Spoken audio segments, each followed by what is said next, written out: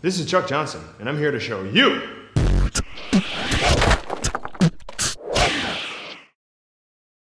So for today's episode, what we're gonna be dealing with is an escape from a same side wrist grab. Now let's face it, as a 200 pound, six foot two, bald headed black dude, I don't exactly expect people to be running up on me grabbing my wrist anytime soon. However, for those of you at home who may not be six foot two, 200 pound black dudes, you may find this technique useful. Let's take a look. So this is Dean. He's gonna be helping us out today. Say hi, Dean. Hi. Okay. So if you would, same side wrist grab, okay? So if somebody grabs your wrist, it's obviously because they're bigger than you and they're stronger than you, and they're probably interested in dragging you somewhere, okay? So as such, the last thing you wanna do is pit your arm strength against their arm strength, because their arm is gonna win, because it's bigger and stronger. So what you wanna do instead is you wanna use your whole body against their arm strength. Now the way you do that is that instead of standing out here like this and then just tugging like this with your arm, which obviously isn't gonna work, you step in like this so that you can use your whole body against just his arm, okay? So from here, I step in, then at the same time, I grab with the other arm if I want as an extra support, and then from here, I'm gonna use my shoulders and hips, and I'm gonna twist out like this. Turn with a strike this way. Okay? So one more time. He grabs me, I step in, one, and then twist out, and then return. Okay? So to show you guys the importance of using that twist out as opposed to just pulling, I want you to stick one arm up like this, grab it with the other, then I want you to pull this way. You'll see pulling isn't very effective. It's not gonna work, especially if their arms are stronger than yours. Whereas if you twist like this, can slide out. From this angle, you can see if I twist out, then I'm undoing the grip one set of fingers at a time. And that is what you want, okay? Okay. So, can you hold one more time? Sure. So one more thing I want to show you is what I'm going to do is I'm going to escape from right here, okay?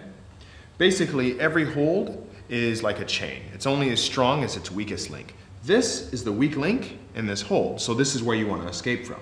So from here, what I'm going to do is I'm going to use that twisting technique I talked about before, and you're just going to slide out like that.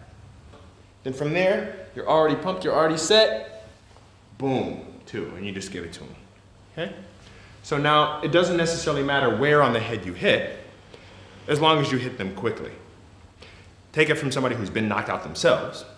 Okay? You don't actually have to hit somebody all that hard to knock them out. But what you need to do is you need to hit them when they don't see it coming so that they can't brace for it and it just rattles their head. That will knock them out or at least make them fall down. Okay? Now, we're gonna have Dean give it a try. Okay? So I'm gonna grab him, give him full resistance on that hold. Okay? Step in, two, three. Okay. That was actually really good. So, and if you'll notice, as he did it, he used his full hips and shoulders. He didn't just try and pull with his arm, and his arm was in nice and tight. Okay, and that's exactly what you want. So just remember, as you're doing it, you want it to be nice and smooth and nice and fluid. Okay, so I want you to try it one more time. Okay. Really fluid, okay? One, two, three. Okay. So, now you know how to escape from a same side wrist grab.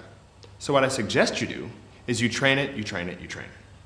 Now, training it doesn't mean going to the local bar and then finding some 350 pound veteran street fighter with a jacked up truck and a mullet and being like, hey, buddy, why don't you grab my wrist? Okay? Training it means maybe showing this video to one or two or all of your friends and then getting together and then just practicing it until the motion becomes natural. Okay? One, because you're, you know, being honest, you're probably not going to get it right off the bat. It's going to take a little bit for it to become natural. Two, because you want to train it to the point that the response becomes autonomic. Because if somebody grabs you and you stall, actually using the technique is going to become exponentially harder. The sooner you can respond, the more likely it is that it's going to work for you. In fact, what I suggest you do is after you train this with your friends, you could even turn it into a greeting. You know, instead of being like, what's up, bro? As Chuck typically does, it could look something like this. Hey, Chuck, how's it going? Chilling, bro you know, hanging out, kicking it. Yeah, yeah. Like that.